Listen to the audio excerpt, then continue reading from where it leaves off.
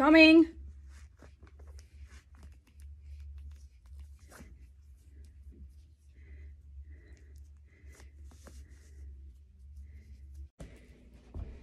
I gotta go down and start the fire yet.